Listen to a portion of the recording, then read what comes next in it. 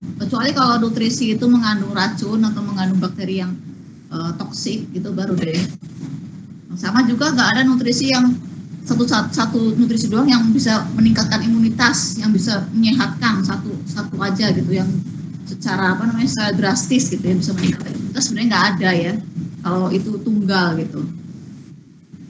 Jadi mesti uh, dalam keseimbangan dengan yang lain dan bahkan dengan aspek kehidupan kita yang lain bukan cuma nutrisi. Uh, jadi ini mungkin uh, sekilas. Jadi ini imun sistem di tengah. Jadi dalam tubuh kita itu banyak sekali sistem ya. Ada nervous ada kan sistem saraf ya, ada sistem hormon, ada sistem gastrointestinal, pencernaan, ada sistem apa lagi ya, pernafasan ya, ada sistem uh, reproduksi dan seterusnya. Itu uh, sebenarnya semuanya saling berinteraksi, saling mensupport ya. Jadi untuk uh, bisa sama juga dengan imun, imun juga mensupport sistem yang lain sebaliknya dia juga disupport oleh sistem yang lain gitu. Jadi ini uh, kira-kira seperti itu interaksinya. Kemudian ini organ-organ dalam sistem imun kita. Jadi mungkin kita tidak menyangka bahwa uh, tulang, uh, sumsum tulang itu adalah pabriknya, pabriknya si sel-sel imun. Gitu. Kemudian dia akan dimatangkan di timus, kemudian nanti dia diletakkan di uh, ada pos-pos di setiap uh, apa namanya bagian dari tubuh kita ada pos-pos itu ya pos-pos di mana si tentara itu uh, apa namanya tinggal itu yang disebut dengan kelenjar limfo kemudian uh, saya lihat dulu atau yang perlu di ini oke kayaknya udah masuk dengan sendirinya oke jadi uh, ini jadi jelas sekali bahwa uh, gimana sih kali lagi nggak bisa presentasi. Ya. Uh, jadi jelas sekali misalnya seperti uh, liver itu uh, dia berfungsi dalam sistem imun tapi juga berfungsi dalam sistem um, pencernaan juga berfungsi juga dalam sistem ekspresi ya gitu. Jadi uh, apa namanya saling berhubungan. Kemudian ini eh, sel-sel uh, dalam sistem imun ya yang tadi pabriknya di mana nih di pabriknya itu di sumsum -sum tulang gitu ya. Kemudian uh, nanti ada stem cell itu yang akan stem cell itu sel induk jadi dia bisa beranak atau berubah jadi banyak sel gitu. di antaranya sel B sama sel T yang menghasilkan atau yang berfungsi sebagai sel imun keterangannya kemudian uh, nah ini mungkin uh, ini apa namanya cocok ya buat kita keadaan kita saat ini nih mekanisme nih mulai dari A ya jadi kalau misalnya kita flu flu aja ya ininya apa e, contohnya ya karena kalau corona kan mengerikan ya jadi contohnya e, flu aja misalnya flu nih A jadi uh, keluarnya kan dari hidung, misalnya bersin gitu ya. Terus masuk, eh, terus ya bersin ya. Kemudian masuk ke uh, tetangga kita atau teman kita yang ada dekat ya, yang ada dekat kita. Kemudian kalau teman kita ini rentan atau susceptible, maka dia akan terkena itu. Uh, bisa terkena itu bisa bergejala atau bisa tidak ya. Seperti yang sekarang kita sebut dengan OTG, itu kan orang tanpa gejala ya jadi dia jadi reservoir atau jadi carrier jadi pembawa tapi dia tidak sakit ya tidak bergejala itu karena daya tahan tubuhnya bagus ya tapi tetap aja dia menyebarkan itu kan bisa menyebarkan virus gitu. Ya jadi kalau yang sakit ya berarti uh, karena uh, imunitasnya nggak baik nggak bagus nggak prima ya sedang tidak ini. Nah ini uh, balik lagi ke sana dulu apakah ada yang perlu di admit dan sebagainya? Oh ya uh, eh, kita balik lagi. Jadi ini uh, apa ya makanan-makanan yang bagus untuk sistem imun tapi uh, tidak bisa tunggal. Jadi kalau misalnya apa ya katanya uh, antioksidan bagus jadi nanti kita malahan cuman minum pil antioksidan aja gitu ya karena untuk meningkatkan itu imun. Sementara yang lain nggak dimakan. Nah itu misalnya serat jadinya nggak dimakan. Nah itu juga nggak benar ya.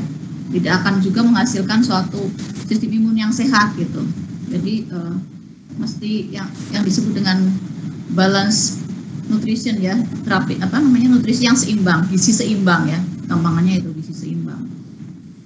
Jadi nanti kita lihat di sini oh ya juga selain nutrisi kita juga mesti mau apa namanya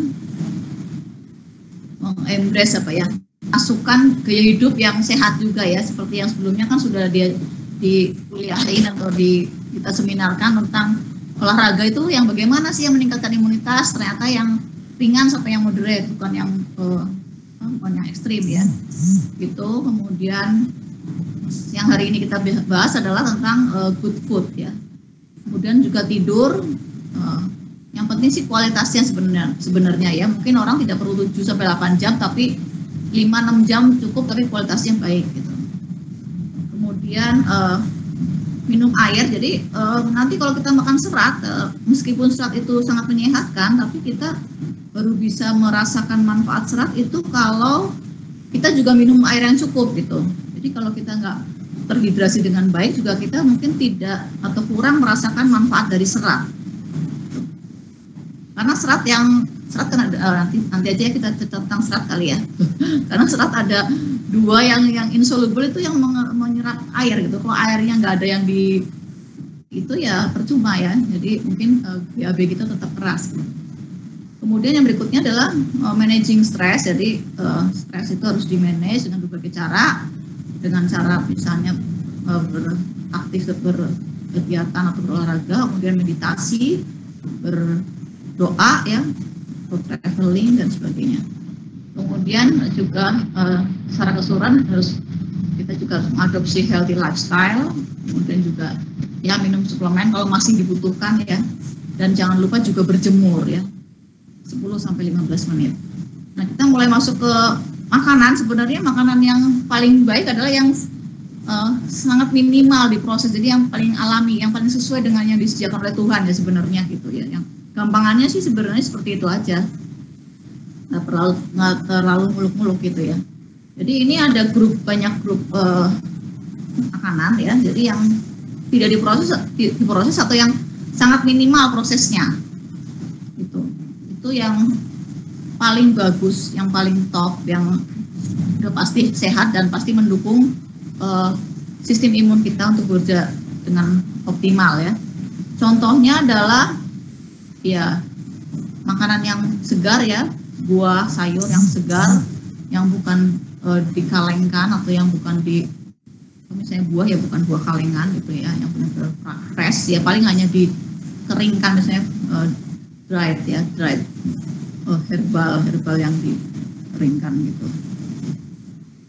Kemudian uh, ada juga yang uh, proses tapi minimal ya proses yang kedua ya yang kedua ya misalnya seperti ini masih cukup uh, sehat sih sebenarnya ya.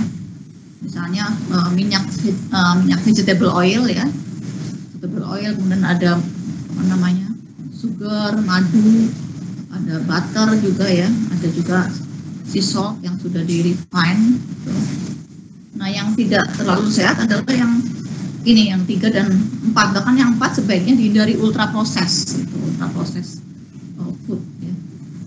Karena biasanya rendah rendah apa namanya serat tapi tinggi gula ya tinggi lemak juga biasanya ya. atau bahkan tinggi salt tinggi apa namanya garam ya gitu. atau juga ngawet ya gitu. jadi mengapa yang ultra proses harus sebanyak mungkin dihindari karena ini karena makanan makanan-makanan yang ultra proses itu akan uh, memicu inflamasi atau peradangan ya. Jadi peradangan mungkin uh, kadang kita perlukan juga ya. Karena dia kan respon tubuh terhadap uh, apa ya serangan dari luar baik infeksi, uh, cedera atau trauma fisik ya. Mungkin juga cancer semuanya yang serangan dari luar itu tubuh berespon dengan peradangan. Tapi kalau inflamasinya berkepanjangan ya kronis itu akan memicu banyak penyakit. Ya di antaranya adalah uh, penyakit jantung, cancer, Alzheimer ya, penyakit degeneratif lainnya, DM, hipertensi, uh, apa namanya tuh, uh, artritis ya, seperti itu. Jadi ini uh, mengapa uh, ultra proses food itu dihindari dan apa yang harus kita pilih adalah uh, ini sama sebenarnya, cuman ini mungkin uh, kita jarang tahu bahwa sebenarnya gizi, gizi seimbang yang disarankan atau yang direkomendasikan oleh Kemenkes itu punya empat pilar gitu. Yang tidak hanya mengkonsumsi makanan yang beragam tapi juga yang lainnya. Yaitu uh, menjaga ini higienitas ya jadi kita hidup bersih sanitasi juga harus bersih. Kemudian berolahraga seperti tadi juga memantau berat badan karena uh, kalau obes itu inflamasi juga kronis ya terjadi uh, kronik inflamasi karena sel-sel lemak itu mengeluarkan uh, mediator-mediator inflamasi gitu. Sehingga penting juga untuk menjaga berat badan tetap normal dengan ukuran ini ya. Indeks massa tubuhnya 18,5 sampai 25 cara menghitung indeks massa tubuh adalah dengan membagi berat badan kita dalam kilogram dibagi tinggi badan kita dalam meter ya. Misalnya saya beratnya misalnya 60 dibagi 1,6 kan karena meter kan. 1,6 nya ini dikuadratkan. Hasilnya harus antara 18,5 sampai 25 ya eh, hal ini tidak berlaku sih buat ibu hamil. Buat atlet mungkin ya yang uh, ototnya kan berat ya. Gitu. Jadi mungkin dia IMT-nya tinggi tapi uh, sebenarnya nggak obes gitu Ya, jadi kalau yang nomor satu ini yang mengkonsumsi makanan beragam itu ada caranya yaitu dengan ini. Kalau saya mau kembali dulu ke apakah masih ada yang perlu di-admit ya? Katanya enggak enggak ya. Balik lagi ke sini. Jadi ada caranya yaitu ini persentasenya sebenarnya gampang aja ya kalau apa namanya mungkin uh, kita kadang uh, untuk lebih idealnya sih memang pakai jumlah kalori berdasarkan uh, usia, berdasarkan aktivitas fisik itu ada sih sekarang ya apa softwarenya kan, Anda tinggal install terus masukkan semua makanan ke situ. Uh, tetapi sebenarnya ya itu tadi uh, tidak hanya soal jumlah kalori tapi juga harus uh, seimbang ya gizinya seimbang. Jadi seimbang antara uh, sumber protein, sumber karbohidrat, sumber lemak, sumber vitamin dan mineral dan juga serat gitu. Jadi ini kalau kita punya piring ya piringnya itu tinggal dibagi dua aja gitu. Jadi yang separohnya itu mesti isinya serat-serat, sumber serat yaitu buah dan sayuran. Gitu. Jadi mungkin kita eh, eh, nggak uh, bakalan kan dalam satu piring situ taruh buah kan gitu ya, tapi maksudnya uh, jangan kita kenyang oleh piring itu doang gitu, tapi nanti kenyang juga tambahan buah. Nanti ada lagi pertanyaan buahnya dimakan kapan sebelum atau setelah makan nanti itu panjang lagi ya. Oke, nanti kita bisa bahas juga. Uh, kemudian uh, yang separuhnya isinya sumber karbohidrat dan sumber protein ya. Kalau bisa sih ya sumber protein dan karbohidratnya seimbang ya. Uh, bisa separuh-separuh walaupun yang di sini lebih banyak sumber karbohidratnya sih makanan pokok ya. Jadi kalau lauk pauk itu mestinya memang sumber protein bukan lauk pauk terus ternyata karbohidrat juga misalnya lauknya adalah uh, mie goreng ya itu sama aja ya dengan makanan pokok. Lauknya adalah bakwan jagung yang cuma isinya jagung dan tepung ya itu juga sama aja uh, makanan pokok juga sebenarnya. Gitu. jadi ini uh, selain itu juga yang tadi saya katakan adalah kita harus terhidrasi dengan benar dengan baik atau dengan optimal karena kita bisa merasakan manfaat apa fiber atau serat dari buah dan sayuran bila kita minum dengan cukup saya minum dulu ya. Kemudian uh, yang paling sesuai dengan kondisi kita saat ini adalah cuci tangan. Kalau ini kalau sekarang kita hanya tidak hanya pas mau makan tapi sebentar-sebentar cuci tangan ya. Kalau uh, zaman dulu kalau nggak pandemi cuci tangan bentar-bentar cuci tangan itu disebut dengan OCD ya obsesi kompulsif orang sebentar-sebentar cuci tangan ya tapi sekarang itu yang normal Kemudian juga batasi semaksimal mungkin gula, garam dan uh, minyak ya. Itu itu sebenarnya semua masuk ke dalam uh, yang dulu kita sebut 4 sehat 5 sempurna tapi sekarang kita berubah jadi begini. nggak ada lagi empat sel lima sempurna. Jadi kalau misalnya pun mau susu itu susu dimasukkan ke dalam uh, sumber protein ya. Itu jadi ini tadi yang makanan makanan-makanan paling bawah itu adalah yang ultra proses ya.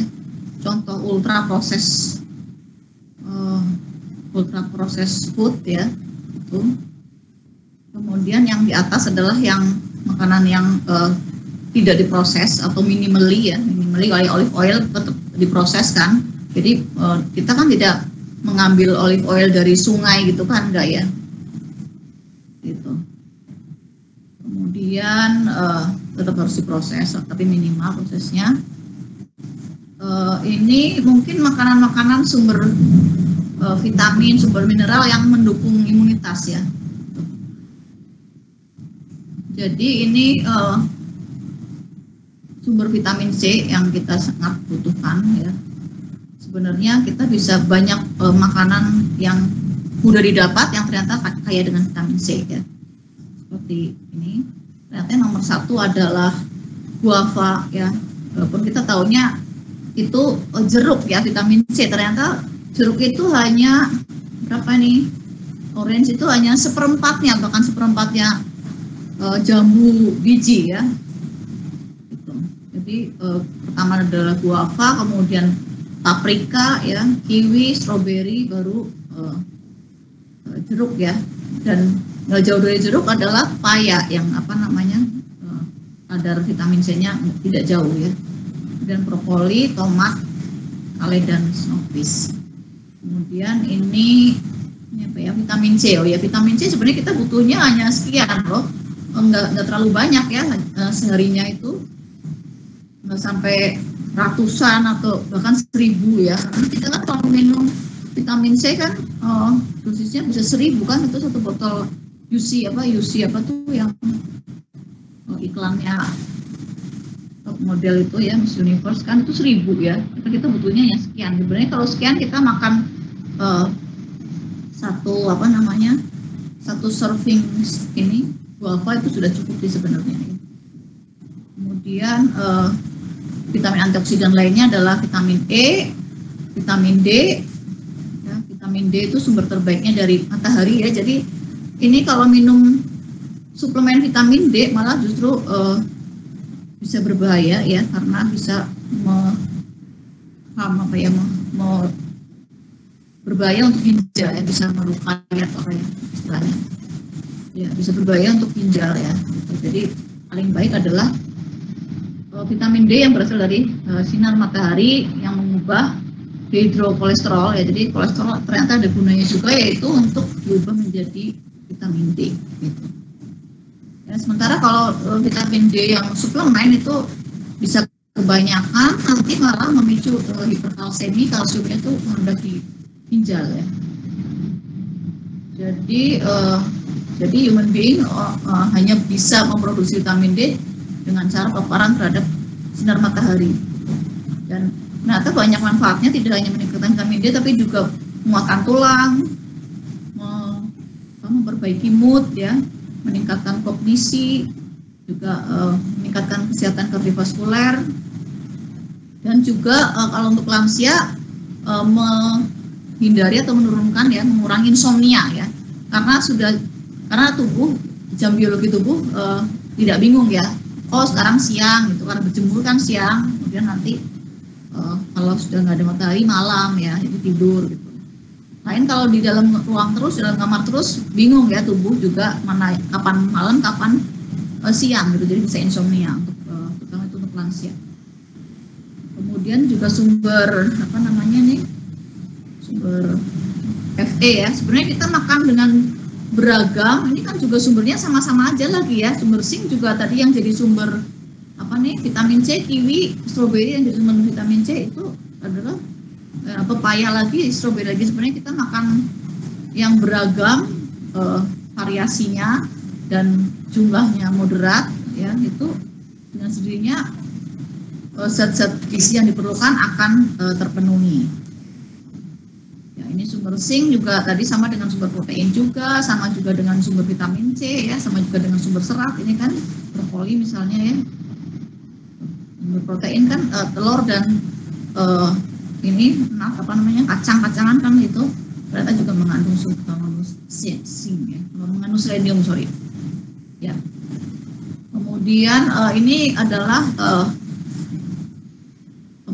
apa meat apa namanya nih red ya red meat ya uh, daging merah ya jadi kita sebaiknya sih mengurangi atau bahkan tidak mengkonsumsi daging merah karena akan meningkatkan apa uh, risiko penyakit dan juga emisi uh, greenhouse gas emission ya. Karena ternyata, ternyata peternakan uh, uh, sapi itu adalah penyumbang um, greenhouse yang uh, paling besar ya termasuk yang paling besar. Ya. Kemudian tadi karena ini termasuk dalam empat pilar gizi seimbang jadi tadi makanan kemudian harus aktivitas fisiknya harus ini dilakukan juga karena banyak sekali manfaatnya. Selain menurunkan risiko kanker juga mengurangi apa namanya ini cancer-cancer yang bisa itu ya.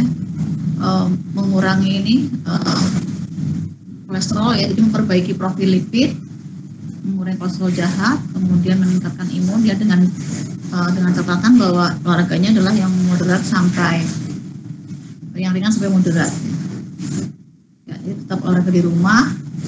Kemudian uh, oh ini perlu diperhatikan. Oke okay, saat olahraga ya. Ya mungkin ini sudah itu ya sudah dibahas waktu itu ya. Tapi boleh kita ulang sebentar. Jadi yang penting kalau olahraga di rumah harus ada lakukan pemanasan dan pendinginan. Kemudian lakukan dua tiga kali per minggu. Jangan memaksakan gerakan ya jangan sampai cedera. Terus uh, tambahkan musik ya. Kalau ada teman lebih enak ya tapi kalau nggak ada ya uh, terpaksa sendirian. Kemudian lakukan di tempat yang uh, aman. Dan jangan uh, di lantai yang licin nanti malah cedera ya itu ini cara mengelola stres ya.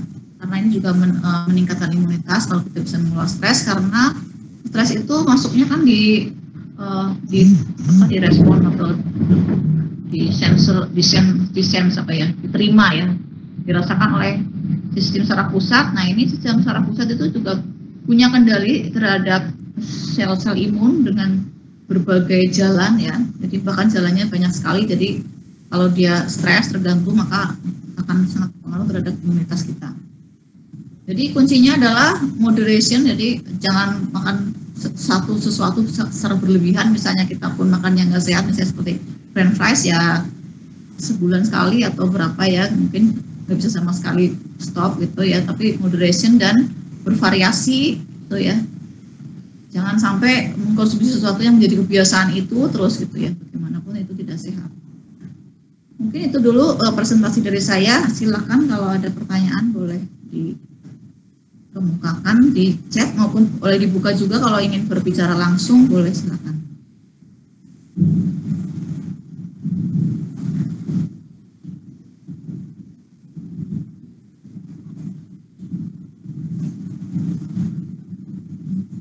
Di uh, chatting belum adakah pertanyaan?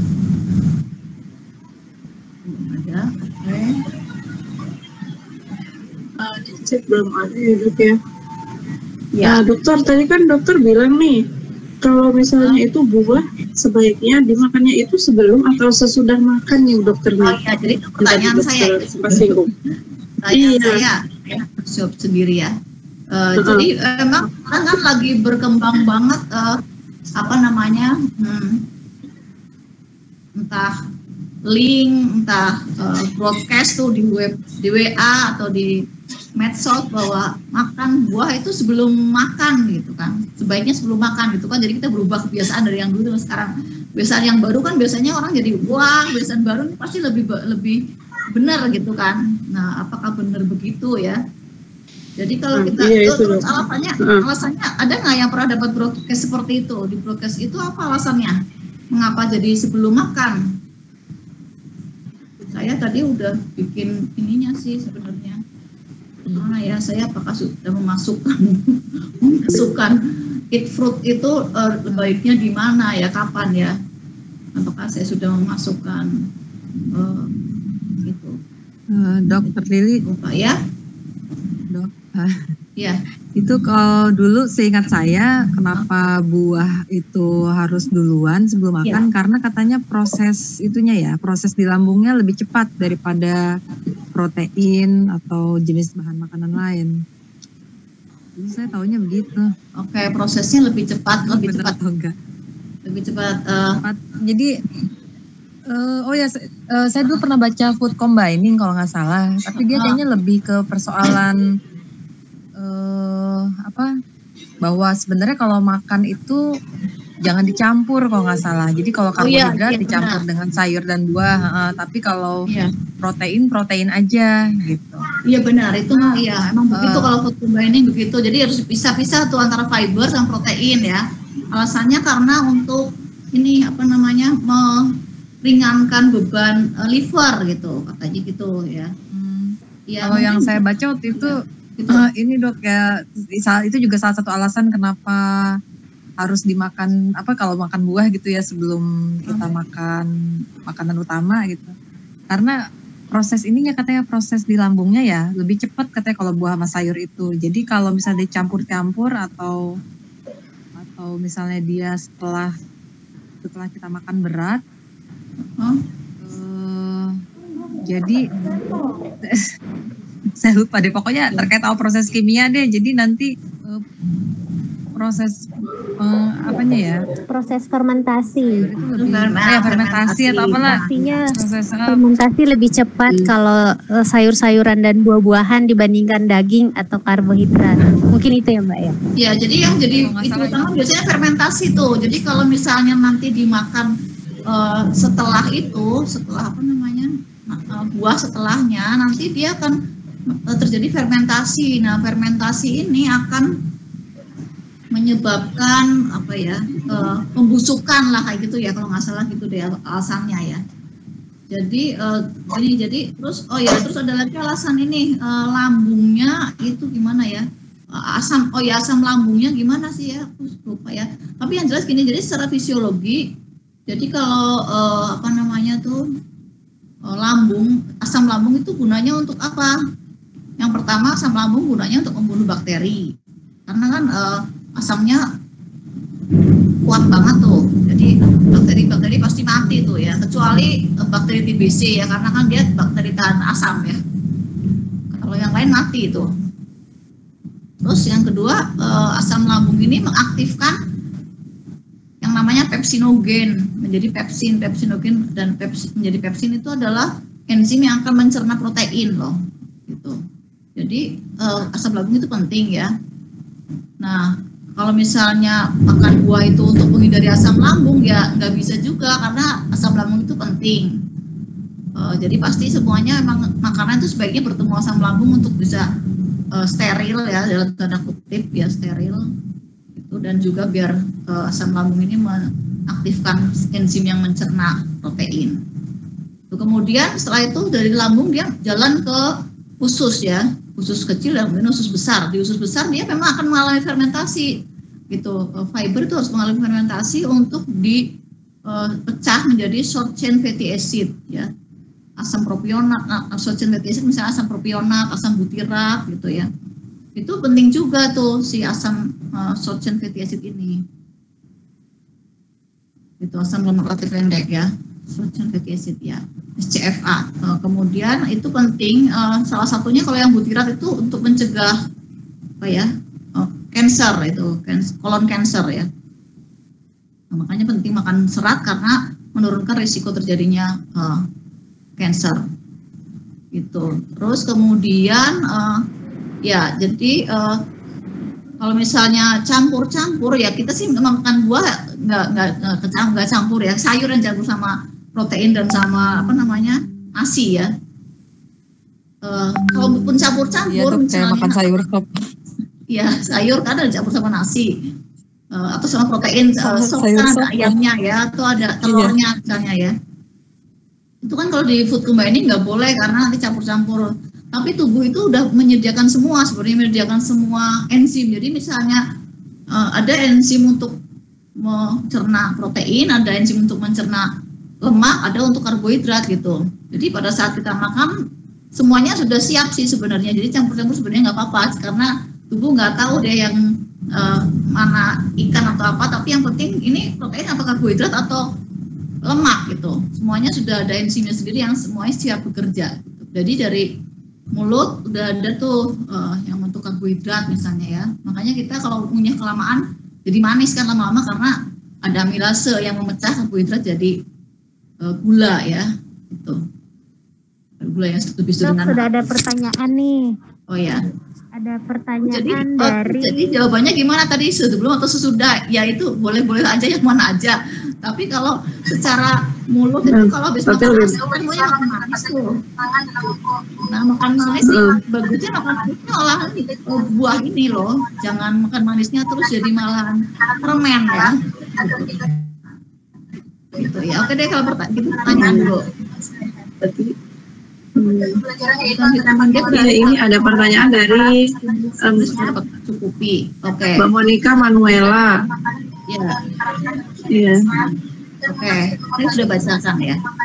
Jadi kita um, agar mengetahui berbagai manfaat mengkonsumsi makanan yang halal Oh, ini soalnya dari mana ya yang berisik? Coba saya lihat dulu ya.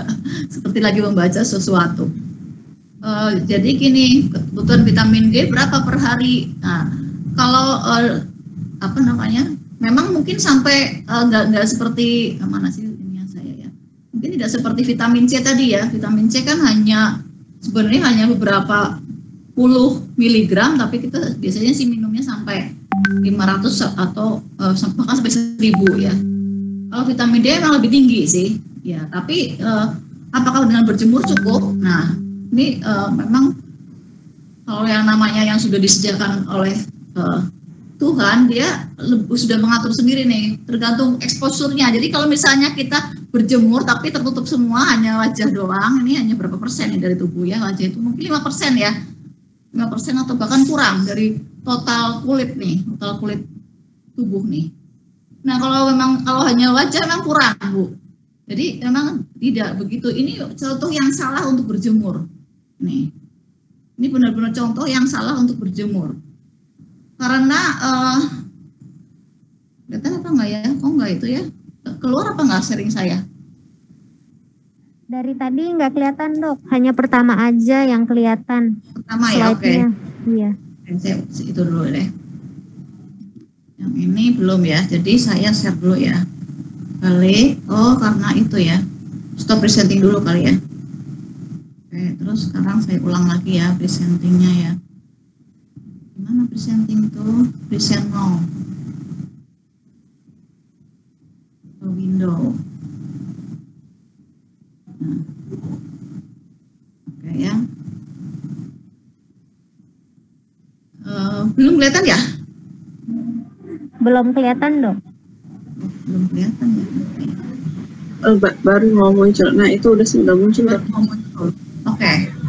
Sekarang udah muncul? Hmm. Belum lagi ya? Iya, sudah dok. Sudah sudah muncul ya? Sudah. Saya kok nggak ada ya? Sudah ya. Jadi saya balik lagi ke ini presentasi. Nah, ini uh, kelihatan nggak nih? Uh, sekarang saya present apa? Yang sinar matahari dok sinar matahari. Gambar ini ya, gambar uh, sinar matahari terus mengubah. Ya. Saya besarkan dulu ya mungkin. Nah ini ya, sinar matahari akan mengubah uh, ini dihidrokolesterol yang ada di bawah kulit kita. Karena di bawah kulit kita seputan adalah uh, jaringan lemak ya, di situ ada ini tujuh di hidrokolesterol itu akan diubah menjadi kolekalsiferol yang adalah vitamin D aktif ya. Kemudian nah itu dan seterusnya. Sementara kalau itu dengan sendirinya akan menyesuaikan nih kebutuhannya berapa uh, akan disesuaikan. Kecuali kalau kita membatasi diri. Nah, gitu. Membatasi diri adalah seperti apa? Ini nih. Kelihatan nih bapak ini ya kelihatan nggak bapak kelihatan. ini ya jadi uh, bapak ini oh saya jadinya malah nggak ada ya Eh, nah ini salah nih cara berjemur yang salah karena matahari tidak menembus baju, kain maupun kaca ya gitu. Jadi kalau seperti ini berarti kulit yang terpapar sinar matahari mungkin hanya 5% atau bahkan kurang gitu. Nah, kalau seperti ini mungkin bisa kekurangan vitamin D Bu, Bu Monika. Jadi nah, kalau eh, minimal ya tangan, kaki ya. Kalau perlu kalau kita di dalam dalam ruangan dalam rumah gitu ya, dalam rumah misalnya di teras terasnya ada ininya, ada fibernya gitu kan kelihatan ya. Atau mungkin di dalam rumah tapi ada yang eh, bolongnya misalnya buat berjemur pakaian tuh buat menjemur pakaian di belakang kan suka ada matahari juga ya. Itu kita bisa pakai uh, daster tapi kainnya apa kancingnya dibalik itu di belakang kancingnya. Jadi dibuka kancingnya jadi ininya kelihatan apa uh, punggungnya. Nah itu jadi permukaan kulit yang terkena matahari lebih banyak. Nah itu pasti cukup karena ini tubuh akan menyesuaikan nih. Berapa banyak kolesterol yang uh, perlu diubah menjadi vitamin D itu dibandingkan kalau kita minum terlalu banyak. Ini sudah ada penelitiannya bahwa terlalu banyak suplemen ya mungkin kalau terpaksa minum ya jangan tiap hari ya mungkin seminggu sekali seminggu dua kali gitu. Itu sih menurut saya uh, jawaban saya. Ya. Apakah sudah cukup Bu Monika? Boleh ditanyakan lagi kemudian ya, terima kasih. Iya kasih Bu Kemudian uh, berikutnya apakah sudah ada pertanyaan? Kalau belum saya uh, ingin share lagi. Tadi sebenarnya saya uh, uh, bikin juga tentang lemak ya, mungkin uh, lemak gitu. Jadi lemak itu apakah kita perlu hindari banget sampai-sampai uh, kalau kekurangan lemak gimana? Apakah bahaya kekurangan lemak? Karena uh, kalau misalnya jangan makan gorengan, jangan makan eh, pokoknya yang berlemak berlemak. Bagaimana sebaiknya? Mana ya? Jadi sebetulnya lemak itu eh, di tubuh kita itu dibutuhkan juga gitu ya dok ya? Gimana Mbak Siti? Kurang jelas Mbak Siti. Soalnya di sini hujan. Bisa diulangi oh, iya. pertanyaannya? Sama dok, di tempat saya juga lagi hujan nih. Ya, karena jadi, jadi lemak seperti hilang. Uh, juga gitu ya dok ya? Jadi lemak juga dibutuhkan gitu? Uh, lemak itu dibutuhkan juga sama tubuh kita. Uh, ya, iya dok. uh, ya ya apakah lemak dibutuhkan? Apakah termasuk kolesterol apakah dibutuhkan ya?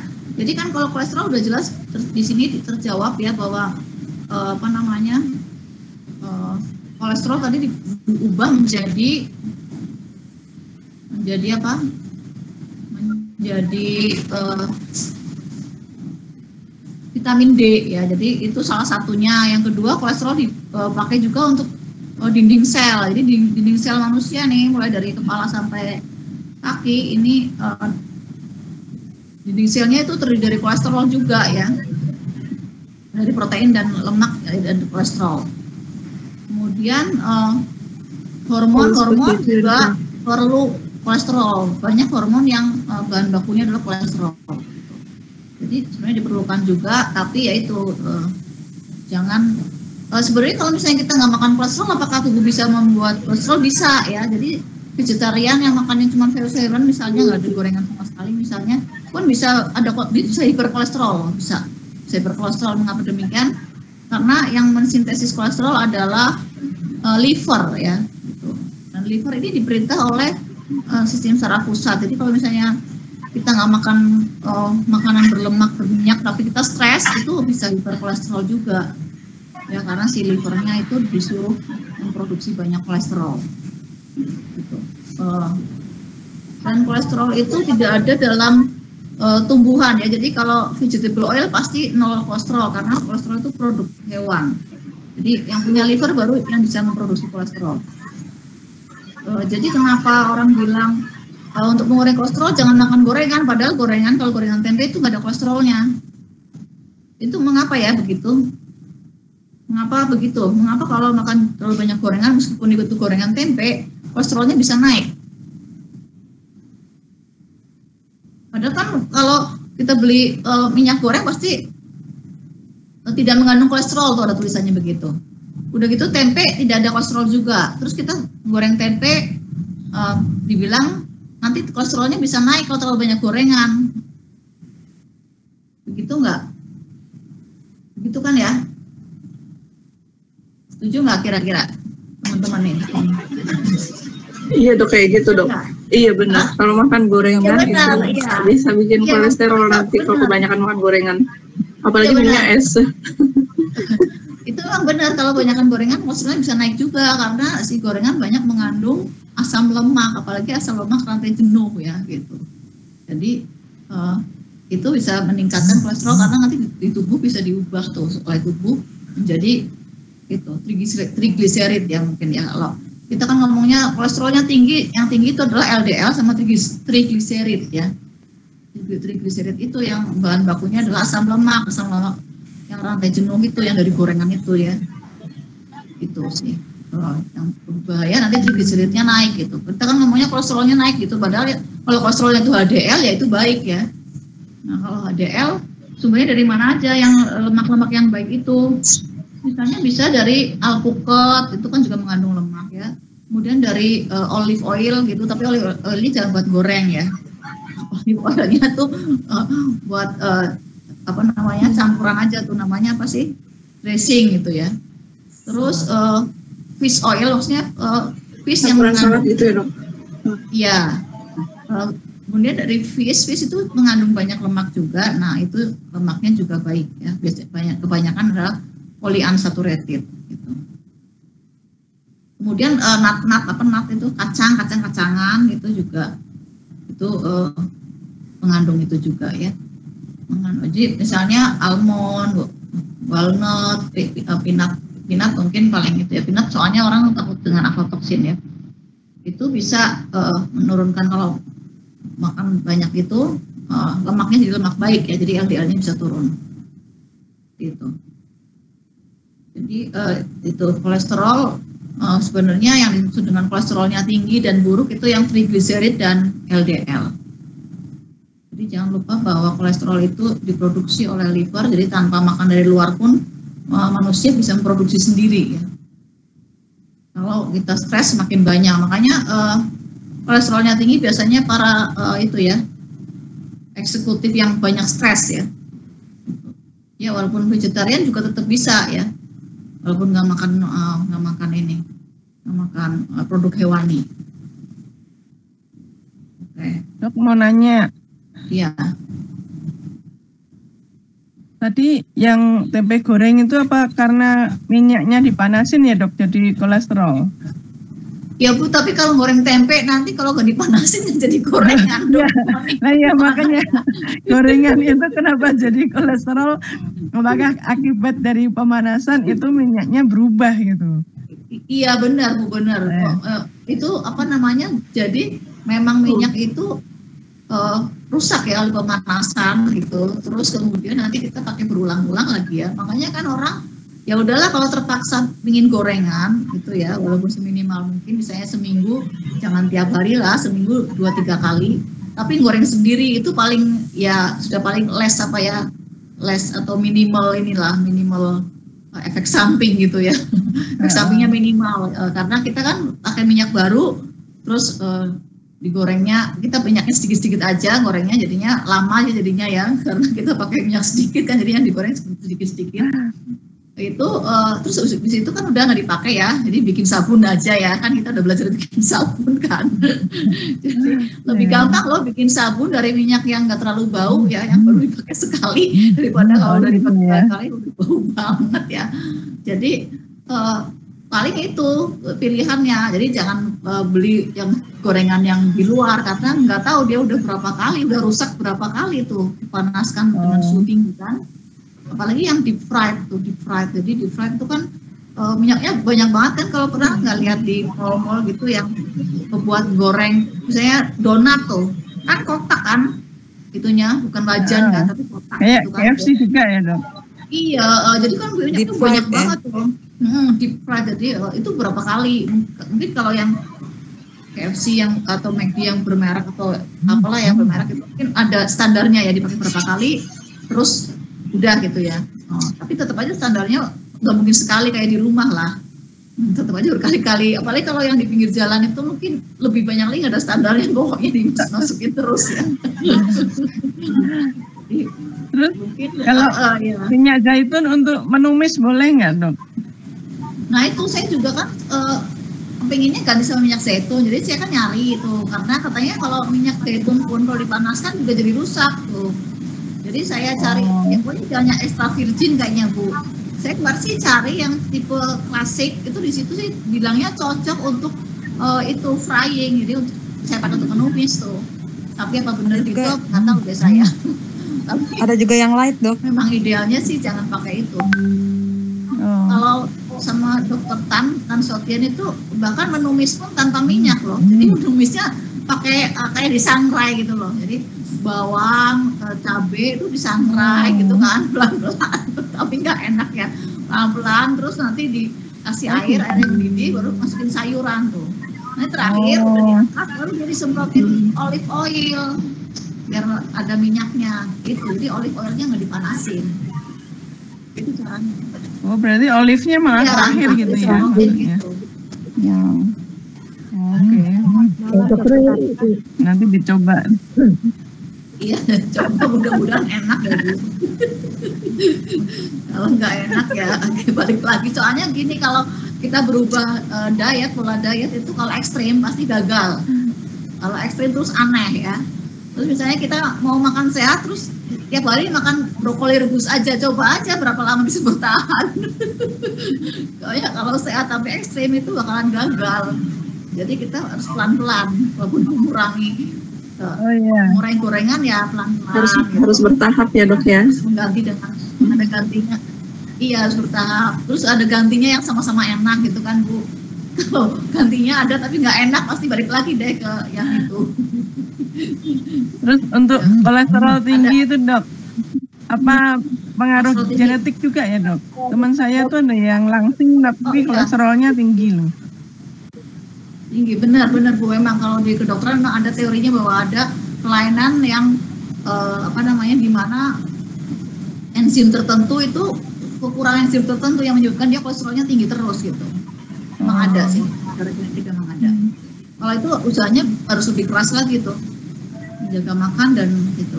Hmm. Oh, ini ada komentar kelihatannya ya, kok tapi nggak bisa ada ada iya nih ada katanya oh yang dari Paulina Kitchen nih dokter ya, ya. Jadi yang extra virgin dari Nah, katanya olive betul, yang ya. Eh, yang untuk goreng yang light yang live. Nah, saya dulu Ya. pernah salah pakai extra virgin oil. Uh, uh, Iya, rasanya itu mah nggak enak banget mahal ya, jadinya. ya.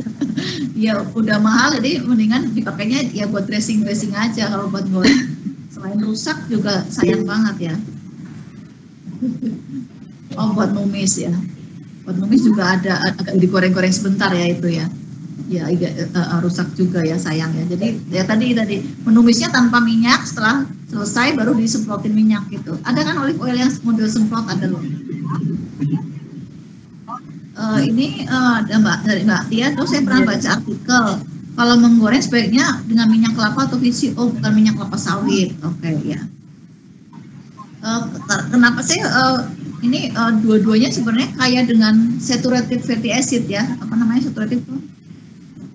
Eh, asam lemak Asam mata lemak jenuh. jenuh. Iya, ada jenuh dua-duanya sih eh, itu. Sebenarnya cuman katanya minyak kelapa lebih stabil terhadap pemanasan gitu. Iya, katanya katanya belum- lebih panjang dok. Lebih panjang ya itunya. Katanya, nah, Yang- katanya yang lebih mana? panjang. Yang, Yang mana? minyak kelapa katanya lebih panjang. Oh, lebih banyak jadinya lebih stabil terhadap pemanasan mungkin ya. Jadi lebih baik Ya, untuk jadi- menggoreng dibanding dibandingkan palem. Ya oke. Apalagi orang bule itu kan dia me- mem- memban ya, ban itu apa sih? Melarang ya eh, palem ya karena mereka kan menganggap perkebunan palem itu merusak ekosistem kan ya. Jadi kalau itu mah ya lain lagi ya ceritanya itu masalah perang ekonomi ya gitu tapi ya tapi mungkin lebih baik seperti itu cuman memang harganya lebih mahal kan Eh, yang Iya, minyak lebih mahal dua kali lipat. ya. lebih mahal dua kali lipat Iya, dua kali lipat. Kalau di pasaran ada merek Barco itu yang bukan promosi ya tapi emang yang pakai kelapa setahu saya cuman merek Barco sih. Barco itu lebih, lebih murah atau enggak atau sama Lebih mahal ya, memang dua kali lipat. Jadi beli Oh, satu liter Barco tuh harganya kayak dua liter minyak kelapa sawit. Oke, ya. Jadi kalau uh, apa, apa namanya pakai minyak goreng yang kelapa itu mungkin sayang banget ya kalau sekali jadi dua kali ya kalau kelapa sawit baru deh sekali sama aja ya. jadinya jadi sama aja ya. Jadi kalau pakai Sania Bimoli kita uh, sekali langsung udah. Tapi kalau pakai Barco ah dua kali. Gitu, oke. Ya jadi mungkin kita uh, perlu mana yang affordable ya mana yang visible ya mana yang uh, tidak membuat stres. Tapi karena kalau misalnya ternyata membuat stres nanti kolesterol kita naik juga ya. Karena kolesterol itu bisa naik karena stres juga gitu jadi kita mungkin uh, sesuaikan masing-masing mana yang paling ini karena saya baru membaca uh, artikel tentang ini apa namanya french fries, french fries ya kentang goreng itu kan pasti enak sekali ya. Hampir semua orang suka mungkin ya ada nggak yang nggak suka sih french fries ya. Saya belum pernah ketemu ya orang yang itu nggak suka french fries ya. Soalnya kalau kita nongkrong kayak semua orang tuh itu makan dokter-dokter juga kita kalau nongkrong dokter semua juga pesen french fries juga ya. itu kan uh, penelitian katanya meningkatkan itu loh resiko uh, kematian ya. Jadi uh, memperpendek umur dan sebagainya gitu. Tetap lagi-lagi nggak serta merta ya french fries langsung meninggal ya karena kan itu apa namanya kecuali kalau mengandung toksin ya. E, perlu di ini ya perlu dievaluasi lagi jangka panjang. Kemudian dia gaya hidupnya secara keseluruhan gimana apakah emang tinggi stres kemudian makan gorengannya banyak french friesnya banyak setiap hari mungkin ya terus itu apa namanya nggak pernah olahraga semuanya mungkin ya itu mungkin bisa memperpendek usia sih tapi kalau sekali-sekali mungkin seminggu sekali ya masih itu. Cuman uh, sebagai dokter mestinya memang uh, ininya anjurannya adalah melarang sama sekali jangan makan french fries gitu ya. Karena apa? Karena kalau dilarang kan kita makan seminggu sekali. Tapi kalau silakan makan kita bisa bisa makan tiap hari ya. Padahal itu nggak sehat gitu. Seperti itu mungkin semuanya uh, kita moderation yang penting moderation jadi sedang ya semuanya moderat dan variasi ya. Kalau variasinya banyak kan kita mungkin jarang ya makan french fries karena ya kita kan masih banyak makanan lain yang bisa dimakan yang lebih sehat gitu kan. Karena variasi kita banyak. Mungkin itu uh, apakah ada pertanyaan lagi? Uh, saya apalagi ya yang bisa saya share di sini sebenarnya. Dok, saya mau tanya lagi dong dok. Oh ya silakan. Iya, uh, tadi kan. Oh, mungkin uh, ini dok. Eh, uh, tadi, eh maaf, saya duluan ya. Iya, siapa silakan uh, duluan. Saya hmm, silakan. Uh, kan uh, katanya kalau uh, kan tumbuhan itu tidak menghasilkan kolesterol. Nah, tapi ya. uh, tadi kan kita bahas tempe goreng. Nah, ini kalau santan gimana? Kita kan sering dengar juga tuh akhirnya dilarang ya, makan santan. Iya benar. Nah, itu benar sekali ya. dengan kolesterol. Jadi, uh, ya. Oke, kita jawab dulu ya santan. Jadi santan itu memang mengandung lemak gitu Uh, tapi lemaknya mungkin uh, gini, ada keuntungan ada kerugiannya. Jadi lemaknya itu kan kalau santan tidak dipanaskan ya beda dengan uh, minyak kelapa. Minyak kelapa itu kan tadinya juga berasal dari santan kan, tapi dia proses pada prosesnya dia dipanaskan lama tuh. Jadi kualitas dari uh, asam lemaknya udah uh, dalam tanda kutip menurun atau bahkan kalau nggak kalau boleh dibilang agak rusak ya gitu. Walaupun mungkin dipanaskannya nggak sampai 100 derajat sih 76 derajat kan ya kan 7, 76 degree kan degree itu kan kalau kita bikin sabun tuh kan coconut oil 76 degree itu kan pemanasan prosesnya ya. Jadi uh, kan dipanaskan tapi lama ya sampai akhirnya menghasilkan uh, minyak gitu. Jadi memang santan juga mengandung asam lemak asam lemak uh, unsaturated yang jenuh ya. Tapi mungkin kualitasnya masih lebih baik dibandingkan uh, minyak goreng.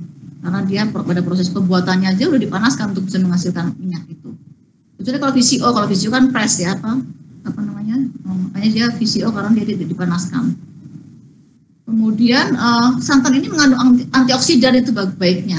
Jadi sekali-sekali uh, saya sih suka santan misalnya ya seminggu sekali kita masak dengan santan itu tapi dengan catatan tidak boleh dipanaskan berulang. Jadi saat kita makan aja tuh pas pas masak uh, itu pun pemanasannya minimal gitu ya. Uh, setelah itu jangan dipanaskan lagi. Jadi harus langsung habis. Biar antioksidannya ini masih uh, masih utuh gitu masih baik gitu. Jadi masih ada positifnya sih. Namanya apa ya antioksidan di dalam itu? Saya lupa lagi deh. Pokoknya ada itu nama antioksidan yang berasal dari santan. Asal jangan dipanaskan berulang. Cuman kadang-kadang ada makanan-makanan tertentu bahkan makanan khas daerah yang pakai santan dan kalau dipanaskan berulang malah enak ya. Jadi itu yang bikin masalah. kalau kalau perlu bahkan nggak dipanaskan. Misalnya kita bikin kacang hijau, uh, kita uh, peras santannya dengan uh, apa nih namanya? Air matang ya, tangan juga udah cuci tangan jadi semuanya seakan steril gitu, jadi dianggap steril. Nah sampahnya benar-benar segar tuh, tinggal dikucurkan aja ke atas uh, ke atas apa namanya? Hmm, bubur kacang hijaunya gitu. Itu seperti, seperti itu mbak jawaban saya. Jadi sampah ya, ada baik adalah ya mengandung antioksidan ya. Terima kasih. Uh, ini ada lagi uh, pertanyaan lebih baik yang mana dok santan murni kelapa atau creamer nabati seperti fiber cream karena ada yang pernah bilang lebih rendah lemak yang fiber. Nah, fiber cream ini gimana ya? Apakah sesuai dengan namanya fiber cream itu benar-benar mengandung fiber ya? Saya kurang tahu, tapi kalau kita mengacu pada presentasi saya yang tadi, uh, yang di sini nih, yang uh, ini kelihatan apa enggak ya? Saya sekarang nih, uh, eh, PPT saya kelihatan apa enggak? di uh, tabel yang pertama muncul tabel ini ada penggolongan uh, makanan yang proses grup satu unprocessed atau minimally proses uh, terlihat apa enggak teman-teman? Enggak ada dok, enggak kelihatan. Enggak ada ya? Oh berarti harus stop sharing dulu, stop. Kemudian saya ulang lagi sharingnya, share, present present window terus ini share nah kalau sekarang sekarang terlihat nggak terlihat ya belum ada sih belum ya belum ya atau yang lain nih kalau di saya belum Aduh, udah, udah, oh, ya? udah ya? Oh iya. Ya, nah oke. Okay. Uh, eh, jadi uh, apa namanya? Ini kalau digrupkan di sini unprocessed minimally, kemudian proses culinary ingredient. Nah, kalau santan kan berarti masuk ke grup yang satu nih, karena hanya di uh, peres aja di parut terus diperes kan, kasih air terus peres hampir-hampir nggak diproses ya. Sementara kalau yang creamer tadi kan dari uh, lemak nabati nih jangan-jangan mirip-mirip dengan asalnya dari sawit juga tuh dari kelapa sawit tuh. Nanti sama dengan minyak kelapa sawit ya. Uh, dari dari situ loh. Takutnya dia masuk ke grup yang empat ultra proses ultra proses food gitu. ultra proses food itu nanti ini jadi dia masuk ke ini extracted from food. Jadi uh, diekstrak dari misalnya uh, creamer itu adalah ah itu bukan dari susu ya kan non dairy ya. Itu diekstrak dari ini dari fat fat vegetable fat itu. Jadi bisa jadi dari kelapa sawit juga.